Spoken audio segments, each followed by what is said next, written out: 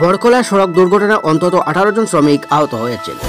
ময়নানগর থেকে শ্রমিকদের নিয়ে আসা একটি টাটা ম্যাজিক গাড়ি নিয়ন্ত্রণ হারিয়ে শিলচর হাফলং জাতীয় সড়কে পাল্টি গেলে আহত হন শ্রমিকরা। বৃহস্পতিবার সকালে এই ঘটনাটি সংঘটিত হয়।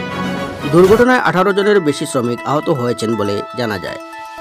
আহতদের উদ্ধার করে স্থানীয় বড়খোলা স্বাস্থ্যকেন্দ্রে নিয়ে যাওয়া হয়। এর মধ্যে গুরুতর আহত দশজনকে উন্নত চিকিৎসার জন্য শিলচর মেডিকেল কলেজে স্থানান্তর করা হয়েছে। গুরুতর আহতদের মধ্যে রয়েছেন আলমনি ফুলমালি, লক্ষ্মী কর্মকার, লক্ষ্মী গাটুয়ার সঙ্গীতা গাটুয়ার সাবিত্রী গাটুয়ার চাপলা ভূমিজ, প্রণতি ভূমিজ, রাধামণি মুড়া, কামিনী ভূমিজ, অঞ্জলি চৌতাল, হেমলতা গাটুয়ার, নমিতা গাটুয়ার বিকি গাটুয়ার রতন গাটুয়ার সঞ্জয় খাসিয়া, সুনিতা কর্মকার, রবি ওরাং গৌরী গাটুয়ার ও পূজা তেলি প্রমুখ। স্থানীয়দের মতে সড়কের উপর পাথর ফেলে দেওয়া, সেখানে স্লিপিং করে গাড়িটি পাল্টি হয়েছে। ভরখলা থেকে জমিনাথের রিপোর্ট।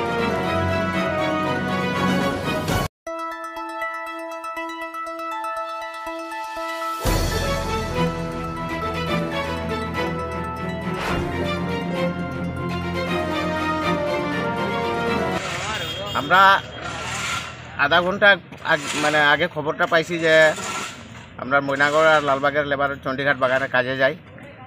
তো আমরা খবর পাই, আইলাম, আইয়া এখানে দেখি যে রাস্তার মধ্যে পাথর ফালাইল আছে।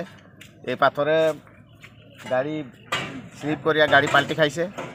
আর এটা তো খাওয়ার কথা না, এরকম রাস্তার পাথর থাকার কথা না, কারণ এনএসওয়াইয়ের গাড়ি সবসময় এই রাস্তার মধ্যে পেট্রোলিং করে।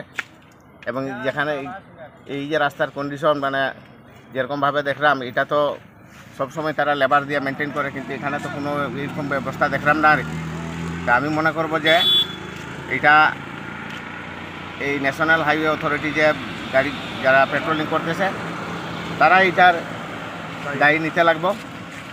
আমরা একটু আধা ঘণ্টা আগে বোধহয় ঘোষণাটা হয়েছে জানি না কোন কারণে এখানে গাড়ি একটা মানুষ লইয়া আওয়াত আছিল।